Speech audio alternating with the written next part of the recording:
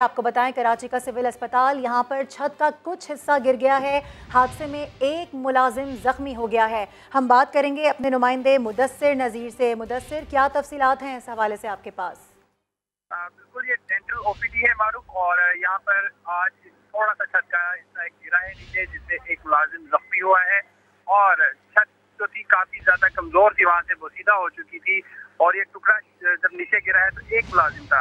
अगर कुछ ज़्यादा अफराद होते क्योंकि वो मशीन जिसपे पेशेंट का ट्रीटमेंट होता है, बिल्कुल एंड उसके ऊपर ये हिस्सा गिरा है। खुदा ना खासा अगर पेशेंट होता तो ज़्यादा मसला हो सकता था। और हॉस्पिटल इंतजामिया से हमारी बात हुई, उनका ये कहना है कि इस छत की अब रिपेयरिंग करवाएँगे और जहाँ जहाँ बुसीदा छतें हैं, उनको भी आप देखेंगे। ठीक है मुदसर बहुत शुक्रिया आपका।